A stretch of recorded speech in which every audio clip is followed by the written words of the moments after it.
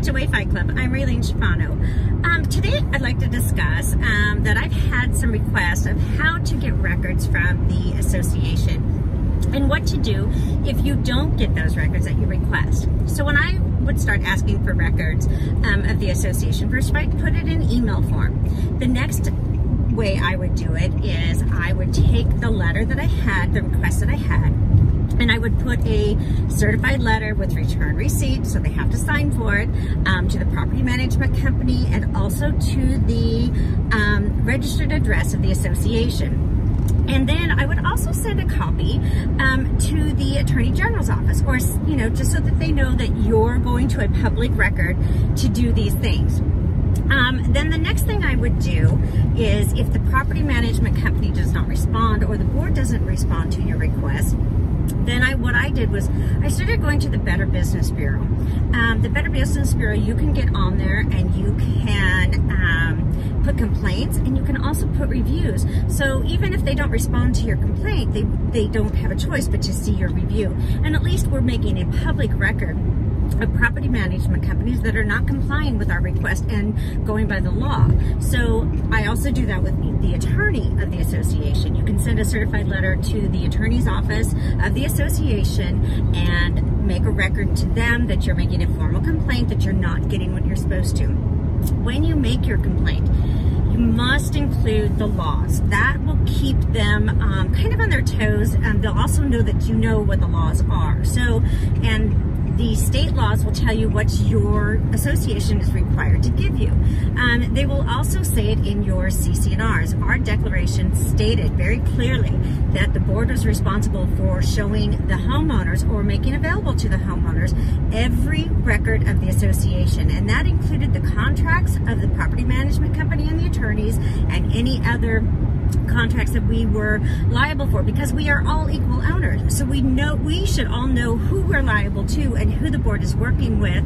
Um, you always see your your people that are you know doing the outside work, the um, yard work, but you don't see who the accountant is and the auditor are. So I found out that our accountant was our auditor, so he was auditing himself. Well, that makes it real easy for that um, accountant to do um, misdeeds. So to uh, make the money disappear or not disappear or you not know where your money is. So make sure that when you're doing your complaint or your request that you always use the CC&Rs, the declaration, the bylaws, the rules and regulations what I found out when I made my formal complaint to the property management company was that the board was in violation of so many of the de declaration themselves and they were violating the bylaws and the rules and regulations.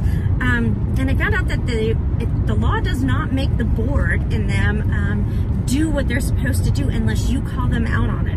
Now, I'm not saying you're going to get the records when you request them you most likely won't get the records that you're requesting. I didn't get a lot of the records that I requested. Um, and it took me almost a year and a half, I think, to get into finally seeing the full um, boxes of the association. Um, a year and a half. And I just never let up. I constantly mailed them letters. I constantly mailed, ah, that was the other one. I mailed the insurance company a letter stating that because they're liable for their the actions of the board. So with the D&O policy. So you want to make sure that that insurance company knows exactly what this board is doing so that they are held liable for the board's misdeeds if they allow it to continue. So that was the other thing that I did. I was sending that certified. And my other thing is you get a certificate of insurance. Don't just be happy with the certificate of insurance. Ask for the full policy of the insurance. That is very important. Every homeowner should have a full policy, and mine was 100, like 130 pages long. It was really, really long. So make sure that you ask for those things, and they're going to tell you that you are not supposed to have those things, and that is not true. You are an equal owner and have the right to have any of the records of the association. So then after you get the what you request, if you do get what you request, make sure that you're, you know, saying thank you, you know, if your property management company is giving you what you need, that is good. That means that property manager is aboard um, with the laws. He knows what he's doing or she knows what they're doing. Um, going to violate what they're, um, they don't want that bad review going on them. Um, I also made complaints to the Consumer Financial Protection Bureau, um, and they did put a um, watch on one of the attorneys that I had turned in for ethics violations. they did put her on the federal watch list for unethical attorneys, and we're going to watch her cases.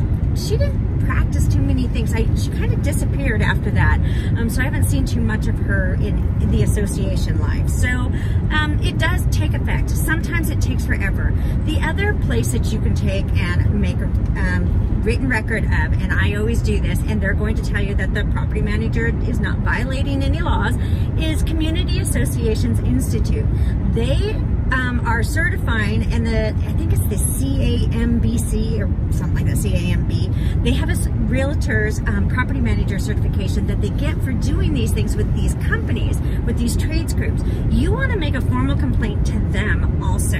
I know it's not going to do any good, but the more records you have of you trying to reach out and call these associations out and the property managers and the attorneys that are in violation of the law, you want to make sure there's a written record of that thing. So then if you do go to court, um, when I went to go to court, I, uh, we had to go to mediation first. And at mediation, I could prove that the board and the property managers had done things to us. They had harassed us on purpose and they were they were not fixing our home on purpose.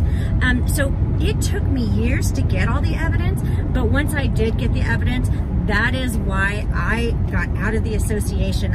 Um, uns, I wouldn't say unscathed, but better off than most. I didn't go into bankruptcy um, by the association. And most homeowners that do file um, a lawsuit in civil court um, usually go into foreclosure or bankruptcy. Um, they don't usually win their cases, and it's really, really hard to win those cases. And one of the reasons why is because we don't get the records that we're requesting. So just keep requesting drive them crazy. Show up at the property manager's address. You have the right during working hours to review things. So um, I would say, hey, I'm coming in on this day and I will expect those records to be there for me. And then if they deny that record, tell them to put it in writing so that you can turn them into the Attorney General's office. I've written many complaints to the Attorney General about HOAs and how they're um, doing unethical and unlawful and unconstitutional things. Now, our Attorney General didn't do anything either, but there is written record. There is written record for everything. Um, and if I ever needed to use those records, I could go back on those records and rely upon the certified letters that I had sent, that I did give notice, and that they did deny or ignore my records request so that's my message for you today. I hope that helps, and I'll see you on the next one. Hi guys, just one more thing. I was thinking that if you would like an example of some of the letters that I have written or the Attorney General's complaints or how to do those kind of things, if you um, subscribe to my page and send me an email to hoafightclub at gmail.com, I will help you with those letters. I know sometimes they get confusing. Um, the less I found the less wordy, the better. You don't want to put too much in there, but you want to make sure that you quote the laws and your CC&Rs and the declaration of that. So um, if you need help, let me know. I'm here. Please subscribe. Thanks.